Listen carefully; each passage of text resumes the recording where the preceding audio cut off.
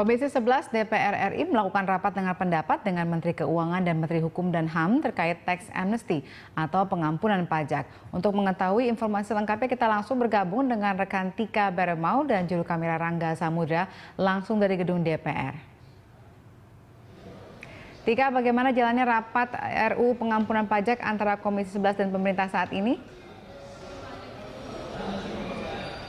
Ya, Valerina, pada sore hari ini DPR RI kembali menggelar rapat membahas rancangan undang-undang pengampunan pajak atau yang dikenal dengan tax amnesty, di mana rapat ini sebenarnya diagendakan dimulai pada pukul 4 sore waktu Indonesia Barat, namun baru dimulai pada pukul 5 sore waktu Indonesia Barat. Dan adapun agenda uh, rapat pada hari ini adalah mendengarkan uh, pendapat atau pandangan tiap fraksi di DPR mengenai rancangan undang-undang pengampunan pajak.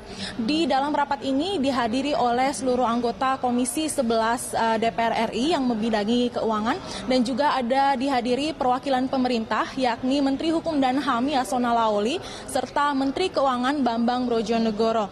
Dan memang dalam rapat ini pembahasan rancangan undang-undang uh, pengampunan pajak ini pemerintah mengusulkan draft RUU yang kemudian uh, dipelajari dan juga uh, nanti ditunggu apakah akan disetujui oleh DPR guna untuk uh, mengajak uh, para wajib pajak yang saat ini uh, menyimpan harta kekayaannya yang saat ini uh, harta kekayaannya berada di luar negeri agar kembali menyimpan harta kekayaannya di dalam negeri guna meningkatkan uh, pajak di dalam negeri. Dan memang pengampunan pajak ini sebelumnya dapat saya informasikan bahwa uh, pengampunan pajak merupakan kebijakan uh, pemerintah dalam setahun untuk menghapus uh, bunga pajak uh, dan juga saksi uh, sanksi administrasi pajak atas ketidakpatuhan di masa lalu, asalkan wajib pajak ini memberikan uh, data aset yang akurat dengan tetap membayar pajak pokok. Semula memang pembahasan dari rancangan undang-undang uh, tax amnesty ini sempat ditunda karena ada beberapa fraksi yang tidak setuju, lalu diputuskan untuk dilakukan uh, rapat konsultasi terlebih dahulu dengan Presiden Joko Widodo.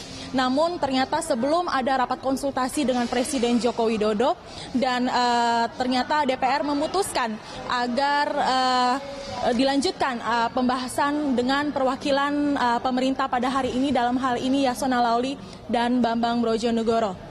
Valerina. Ya, Tika, berapa target penerimaan pajak dari pemerintah jika RUU ini disetujui?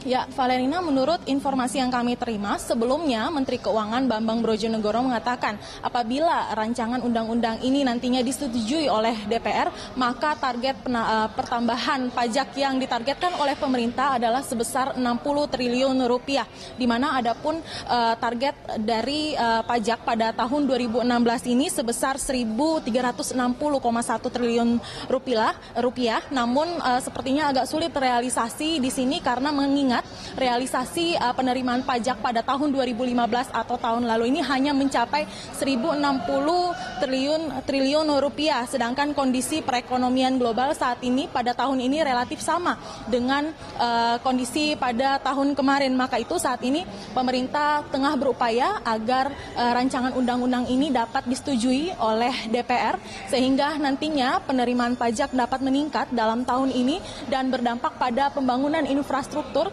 di mana pajak merupakan salah satu sumber utama dari pendapatan negara. Valerina.